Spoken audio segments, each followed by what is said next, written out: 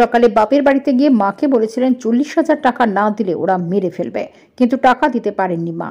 অন্তঃসত্ত্বা মেয়েকে বলেছিলেন, ভিন রাজ্য থেকে ছেলেরা টাকা পাঠালেই পৌঁছে দেবেন তাকে। দেড় কিলোমিটার দূরে শ্বশুর বাড়িতে ফেরার কয়েক ঘণ্টা বাদে খাটের তলা থেকে উদ্ধার হলো ওই গৃহবধূর দেহ। টাকা না মেলায় তাকে বালিশ চাপা দিয়ে শ্বশুরবাড়ির লোকজনেরা খুন করেছে বলে অভিযোগ মৃতার পরিবারের। মালদহের পুকুরিয়া থানা এলাকার অন্তর্গত পরানপুর গ্রাম পঞ্চায়েতের বিশানপুর এলাকার ঘটনা। পুলিশ সূত্রে জানা গেছে, মৃতার নাম আসমিরা খাতুন, আনুমানিক বয়স তেইশ বছর। অভিযোগ পেয়ে পুলিশ বধূর স্বামী এবং শাশুড়িকে জিজ্ঞাসাবাদের জন্য আটক করেছে। পুকুরিয়া থানার ওসি ঝোটন প্রসাদ বলেন, খুন নাকি অন্য কারণে মৃত্যু? ময়না তদন্ত হলেই পরিষ্কার হবে। গোটা বিষয়ে তদন্ত শুরু হয়েছে। পুলিশ এবং বধূর পরিবার সূত্রে জানা গিয়েছে, চার বছর আগে চাঁদপুরের আসমিরা দেখাশোনা করে বিয়ে হয় পেশায় শ্রমিক বিশানপুরের শেখ হাবিলের সঙ্গে।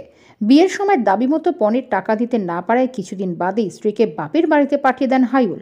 সেই টাকা মেটাতে তার তিন ভাই ভিন রাজ্যে শ্রমিকের কাজেও চলে যান।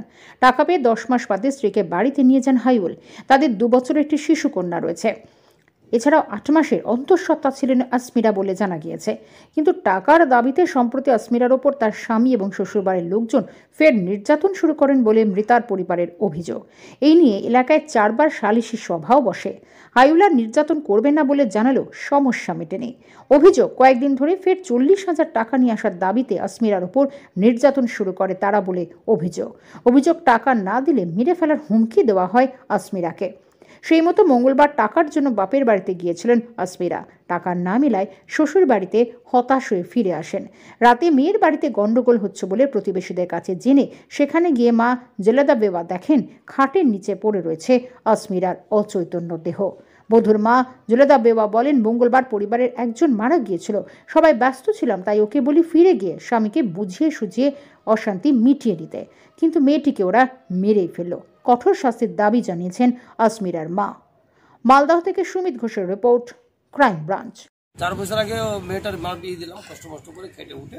বিয়ে দেওয়ার পর মেয়েটাকে আবার ওর বাবা মারা যায়। মারা যাওয়ার পর ওর কাছে তো টাকা পয়সা নেই কিছু।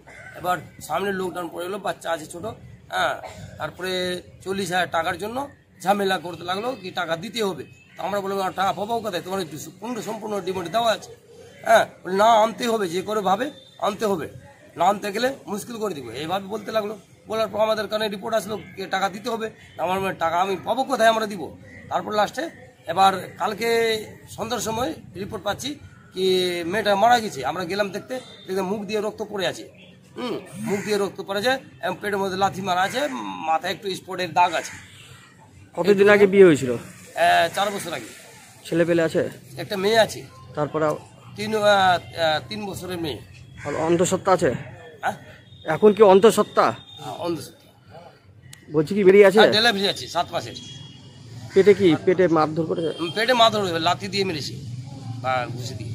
এর আগে কি গ্রামে সালিসি হ্যাঁ গ্রামে সালিশ অনেকবার হয়েছে। আমরা ক্লাবে বসে আহ, মীমাংসা করে পাঠিয়ে দিই আবার ঝানঝট করে দিচ্ছে। কি জন্য মারধর করছেন? ওই টাকা পয়সা আমি যাবি মায়ের বাড়ি যেতে দিব না এই করব আমি টাকা আনতে বলতো নাকি? হ্যাঁ, টাকা আনতে হবে। আর ওরা চুরি করে খায় ছেলেটা চুরি করে। ক- করে ক মাসের অন্তঃসত্ত্বা মেয়েটা মানে ডেলিভারি ক মাসের? সাত মাসের। পেটে কি মারধর পেটে মেরেছে? আর পেটে মেরেছে। কাউকে ধরেছে পুলিশ? হ্যাঁ দুইজনকে ধরেছে। কাকে কাকে? ওর শাস্ত্রীকে আর ছেলেটাকে? কি চাইছেন আপনারা? আমরা ওর ফাঁসি চাইছি?